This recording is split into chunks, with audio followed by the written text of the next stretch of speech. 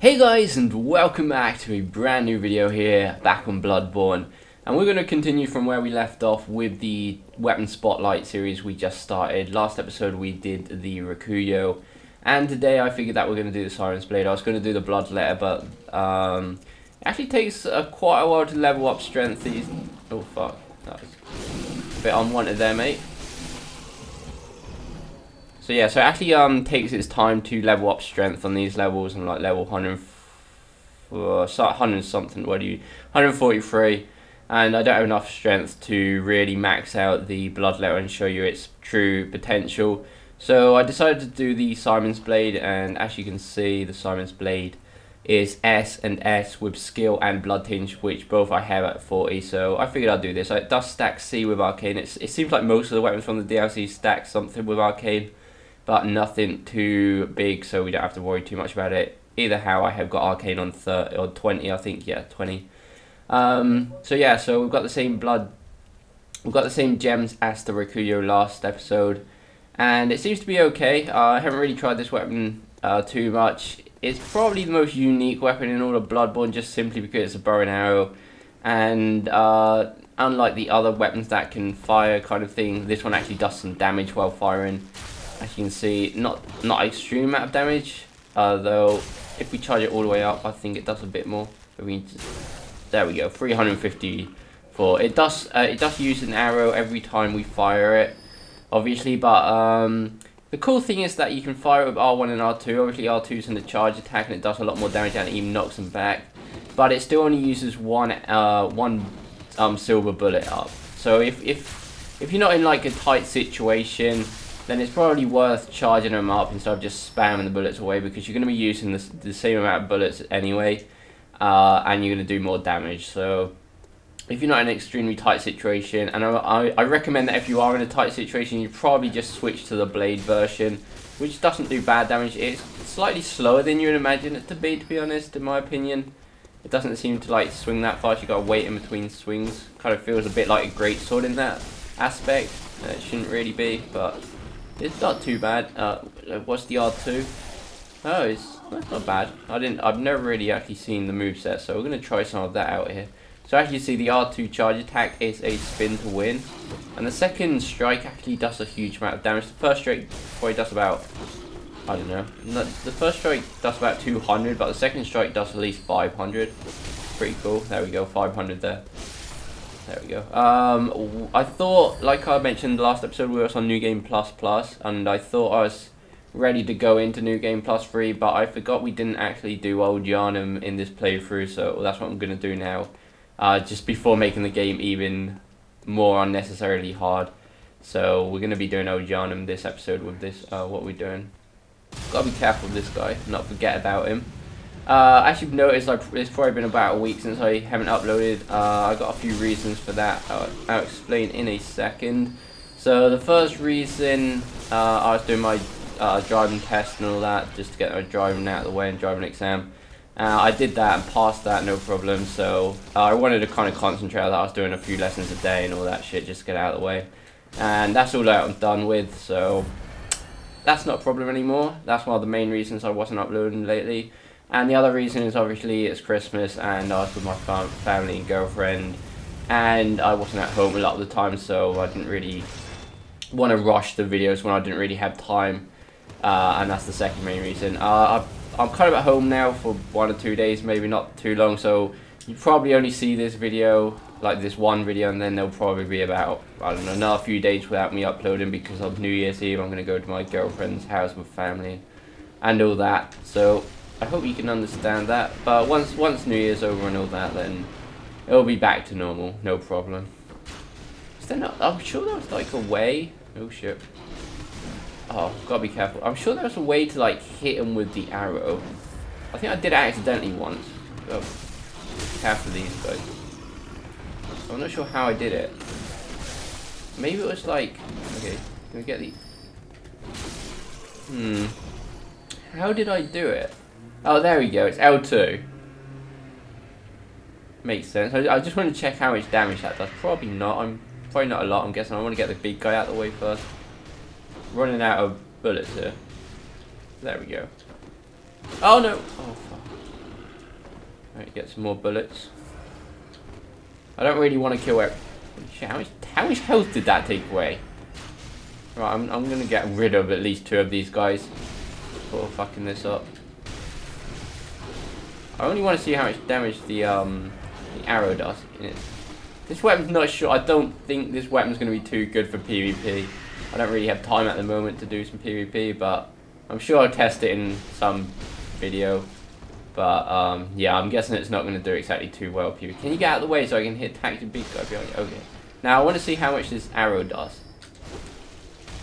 Okay. Uh, not much of a move set. It's just like a single swipe and that's it. About nearly 200 damage. That's okay, I guess. if you're in a really tight situation and you do have um, happen to have the bow in your hand. So yeah. Uh, other things to talk about. There has been a slight um, patch to Bloodborne. I think it's 1.09. I put a few interesting things actually. Um, one of the things being you can now acquire blood rocks from the insight shop, which is really interesting actually.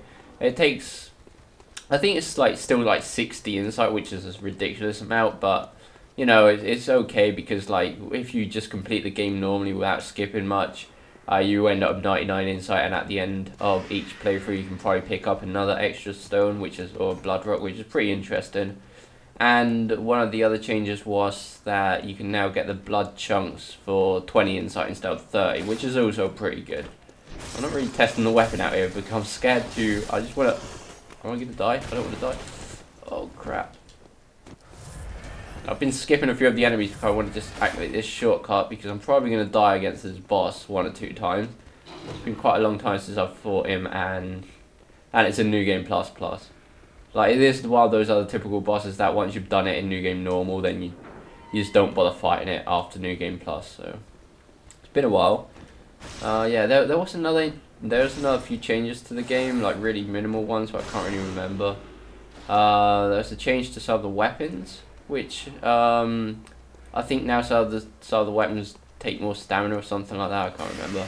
I read through it really quickly, but uh, the two things that caught my mind was the insight thingy, the insight shot with the bloodstones and stuff. Oh shit, what am I doing? I don't want to be using arrows up this close to the enemy.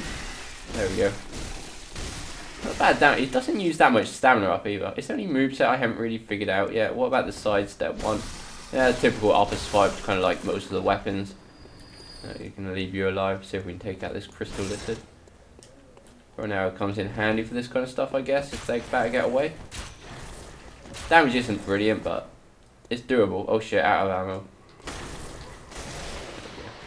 Um, probably not going to live that long in this boss.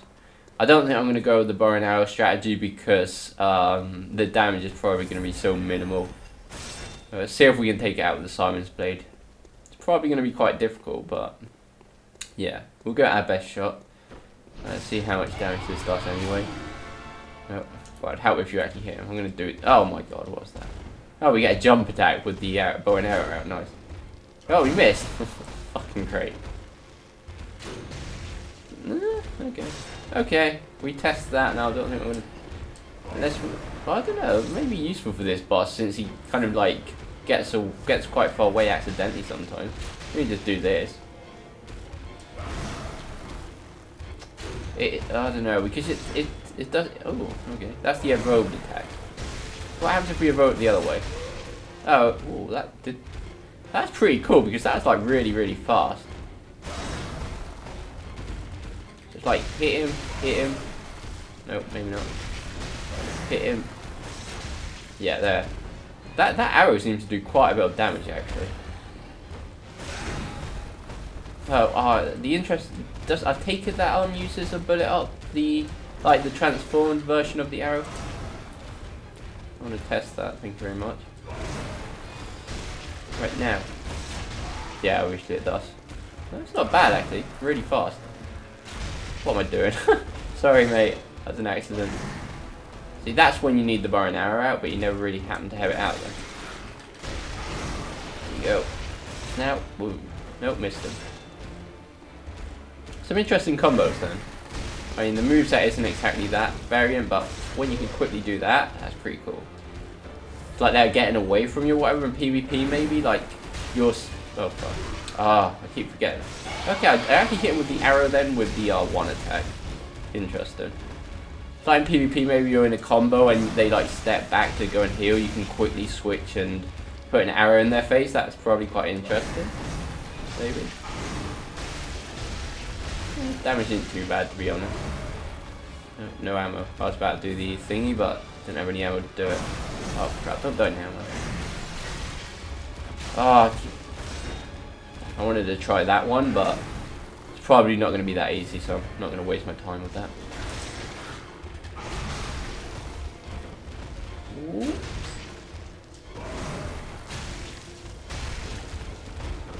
Okay, so it looks like if...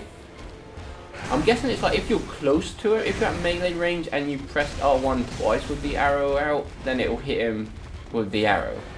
Is that what triggers it? I can't really think of anything else. Or maybe... Oh shit, I'm gonna die, I think. Have I got any antidotes? Probably hurry up and equip them if I did. Yeah, I got a few. Um...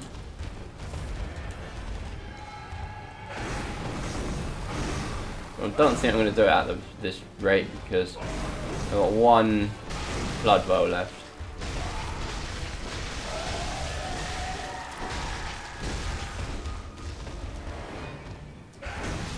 Trying to concentrate here just to, so I don't have to do this whole level again.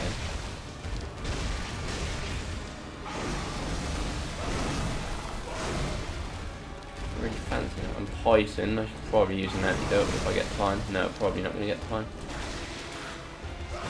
So close. Oh, thought I was going to do it first go. Right, this time at least we'll have some more blood bows and we should do it no problem. And I think we're going to have 20 silver bullets as well.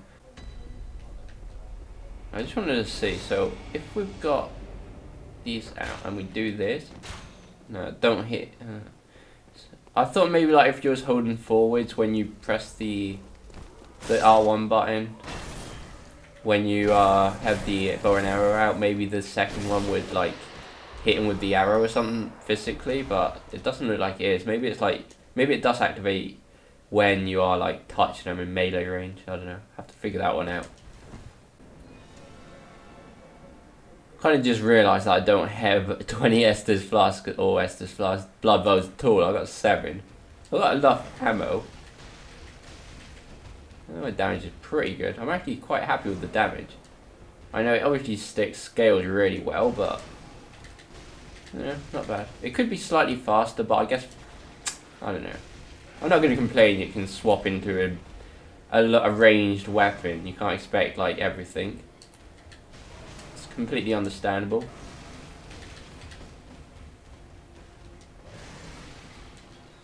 One question though, can you parry with the arrows?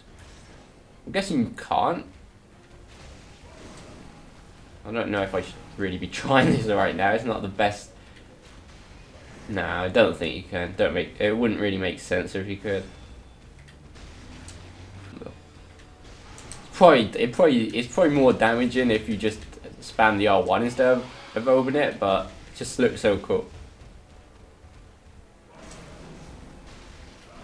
The range on the melee is pretty cool as well. I mean, the sort short, uh, the sword ain't exactly short. Hit him from quite far away.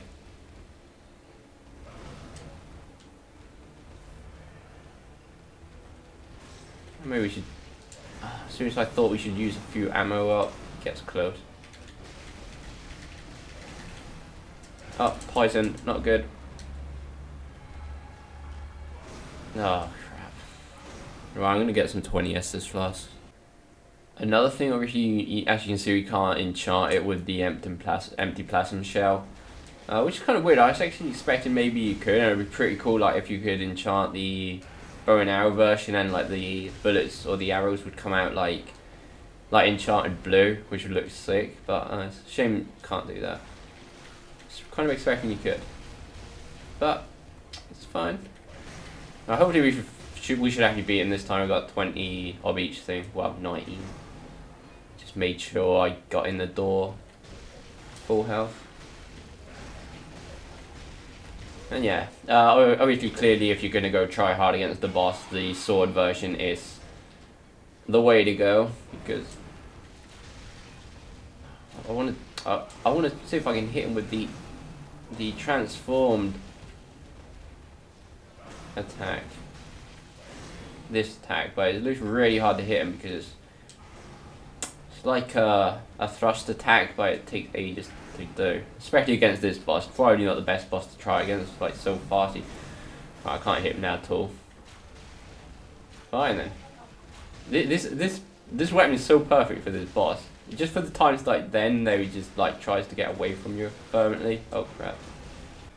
So yeah guys, uh, I think this weapon's actually pretty good. I mean, it's pro if you're going to go through the game try hard and you're struggling through the game, it's probably not the best weapon to be using or anything like that. But if you want bit of fun and you're skilled enough at the game, I guess, to kind of be challenged and try and get past the, or through the game with any weapon, then yeah, I think it's one of the most fun weapons you'd probably use to get through the game.